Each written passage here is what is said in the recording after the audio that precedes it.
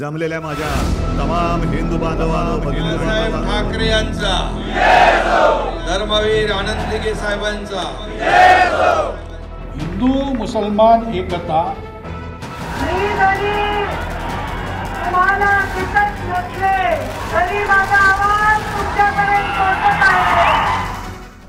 गेल्या काही दिवसापासून महाराष्ट्राचं राजकारण दसरा मेळाव्यावरून तापलंय. यावर्षी महाराष्ट्रात चार दसरा मेळावे होणार आहेत.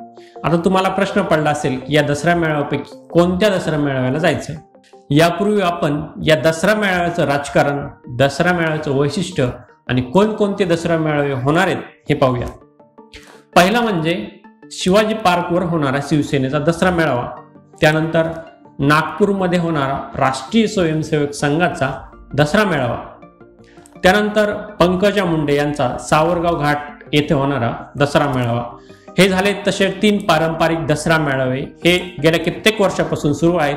परंतु यावर्षी अजून एका दसरा मेळाव्याची यामध्ये भर पडली आहे.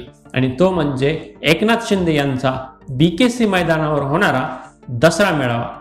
आता या चार दसरा मेळाव्याचं राजकारण वैशिष्ट्ये आणि परंपरा समजून घेऊया. शिवसेनेच्या दसरा मेळाव्याला मोठी परंपरा आहे. तीस ऑक्टोबर एकोणीसशे सहासष्ट रोजी शिवसेना प्रमुख बाळासाहेब ठाकरे यांनी पहिला दसरा मेळावा शिवाजी पार्कवर घेतला होता. त्या काळामध्ये शिवसेना दसरा मेळावा आणि शिवाजी पार्क असं एक समीकरण बनलं होतं. दोन हजार बारा साली शिवसेना प्रमुख बाळासाहेब ठाकरे यांनी शिवसैनिकांना व्हिडिओ कॉन्फरन्सिंगच्या द्वारे शिवसैनिकांना संबोधित केलं होतं. ती बाळासाहेबांची शेवटची सभा होती. आतापर्यंत शिवसेनेच्या इतिहासामध्ये दोन वेळा दसरा मेळावा रद्द झालाय दोन हजार सहा साली मुंबईमध्ये जोरदार पाऊस पडला होता. त्यावेळी शिवसेनेला तो दसरा मेळावा रद्द करावा लागला होता. त्यानंतर दोन हजार नऊ साली आचारसंहितेच्या कारणामुळं शिवसेनेला तो दसरा मेळावा पुढे ढकलावा लागला होता. त्यानंतर यावर्षी दसरा मेळाव्यासाठी शिवसेनेला मोठी न्यायालयीन लढाई लढावी लागली.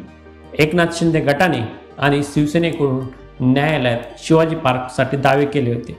त्यानंतर न्यायालयाने शिवसेनेला दसरा मेळाव्याची परवानगी दिली. त्यानंतर उद्धव ठाकरे यांची तोप शिवाजी पार्कवर धडडणार हे आता नक्की झालंय. त्यामुळे शिवसैनिकांमध्ये मोठं कन्फ्युजन झालंय. एकाच दिवशी एकाच वेळेत हे दोन्ही दसरा मेळावे होणार आहेत.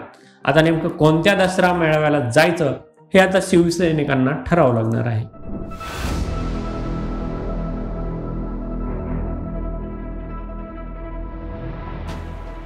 यानंतर जो यावर्षी नव्याने दसरा मेळावा होतोय त्याबद्दल आपण बघूया.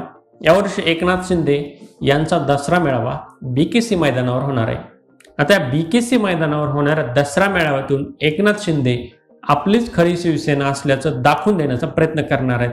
यासाठी त्यांनी राज्यभरातून शिंदे गटाला मानणारे शिवसैनिक गोळा करण्यासाठी तयारी सुरू केली आहे. शिवाजी पार्कमध्ये होणारी गर्दी शिवसेनेसाठी नवी नाही परंतु यावर्षी शिवसेनेसाठी हा दसरा मेळावा खास असणार आहे.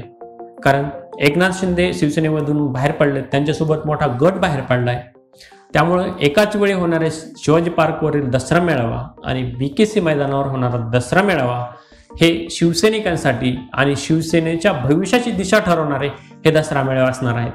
त्यामुळे आता ह्या दोन्ही दसरा मेळाव्याकडे फक्त शिवसैनिकांचंच नाही तर संपूर्ण महाराष्ट्राचं आणि देशाचं लक्ष असणार आहे.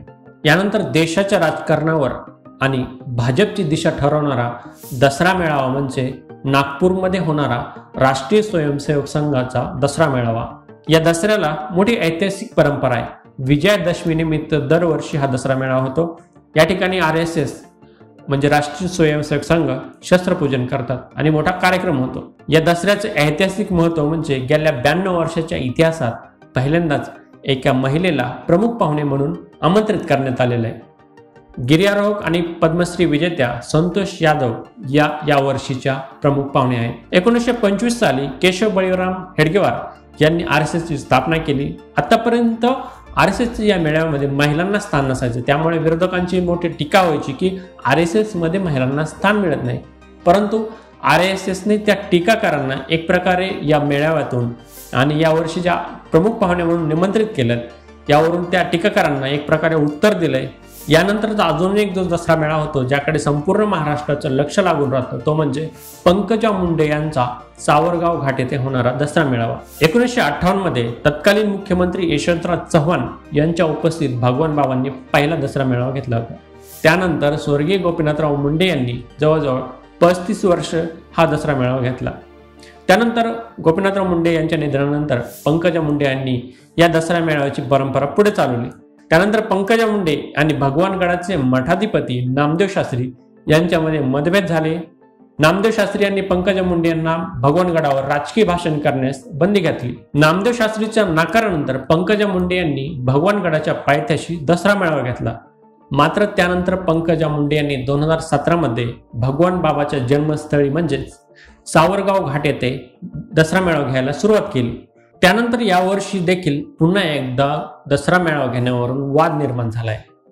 पंकजा मुंडे यांचं सावरगाव घाट येथील दसरा मेळावा आणि भगवानगड येथील दसरा मेळावा कृती समिती यांच्यातून हा संघर्ष सुरू झालाय.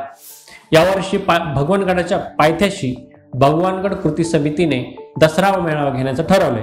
त्यामुळे वंजारी समाजातील मोठा समाज नाराज झाल्याचं बोलले जाते. काही पदाधिकाऱ्यांनी राजीनामे देखील दिलेत. वंजारी समाजामध्ये दोन ठिकाणी दसरा मेळावे नकोत अशी काही लोकांची भावना आहे. त्यामुळे पुन्हा एकदा भगवानगडाचा म्हणजेच सावरगाव घाट आणि भगवानगड येथील दसरा मेळावे पुन्हा एकदा चर्चेत आले हे झालं महाराष्ट्रातील दसरा मेळाव्यावरून होणारं राजकारण. आता हे दसरा मेळावे धार्मिक अर्थाने नाही तर राजकीय शक्ती प्रदर्शनच म्हणायला हवेत. आता तुमच्या मनात प्रश्न पडला असेल की कोणत्या दसरा मेळाव्याला जायचं? आता तुम्हीच आम्हाला ते कमेंट करून कळवा की यापैकी तुम्ही कोणत्या दसऱ्या मेळाव्याला जाणार आहे. हा व्हिडिओ तुम्हाला कसा वाटला हे आम्हाला जरूर कळवा आणि नवीन नवीन व्हिडिओ पाहण्यासाठी लेट्सअपला फॉलो करा.